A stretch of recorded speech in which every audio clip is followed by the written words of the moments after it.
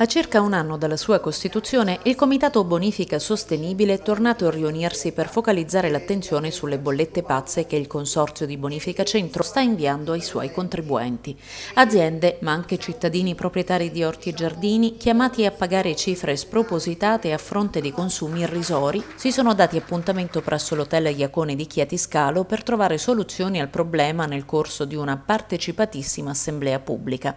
Già l'anno scorso il Comitato si era arrivato rivolto al TAR vincendo il ricorso e ora, a fronte di ingiustificate richieste di pagamento, la soluzione percorribile dai contribuenti sembra essere ancora una volta la stessa, come spiegato da Gabriele Trovarelli, presidente del Comitato Bonifica Sostenibile. Com'è possibile che un agricoltore che non utilizza un litro d'acqua su un ettaro di terra debba pagare 270 euro. Sto ascoltando da parte del consorzio giustificazioni del genere aumento dell'energia elettrica stanno usando questa scusa come specchietto delle allodole per nascondere la loro incapacità gestionale. Nel corso dell'assemblea, alla quale hanno preso parte numerosi sindaci e anche Coldiretti, scesa in campo accanto ai contribuenti, è stata più volte chiamata in causa la politica, accusata di assenteismo.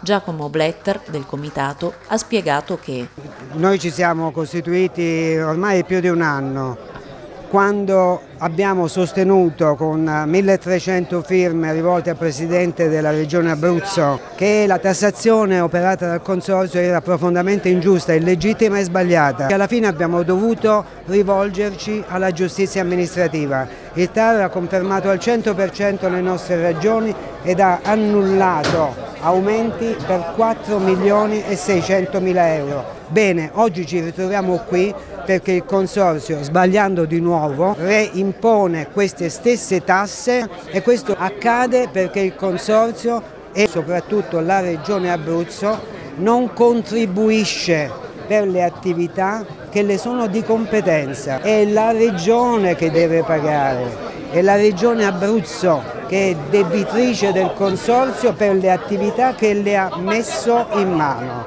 Questo non lo dice il Comitato Bonifica Sostenibile, lo dice la sentenza dell'11 aprile del 2023 del TAR Abruzzo. Tra i contribuenti chiamati a pagare cifre spropositate rispetto ai consumi anche Francesco Paolo Valentini, membro del comitato riunito in assemblea. Ci è arrivata una bolletta di 69.000, quasi 70.000 euro a fronte di 14 euro di utilizzo reale di acqua. Questa situazione è insostenibile. A sostenere le ragioni del Comitato Bonifica Sostenibile durante l'Assemblea c'era anche Donatello D'Alonso del Comitato Civico Safà per il Consorzio di Bonifica Sud per la provincia di Chieti. E abbiamo deciso di unire le forze e appoggiare l'azione del Comitato Bonifica Sostenibile perché anche noi abbiamo una situazione drammatica per quanto riguarda i servizi forniti all'agricoltura dal Consorzio di Bonifica Sud con un ente indebitato che non eroga più servizi, capace soltanto di aumentare le tariffe.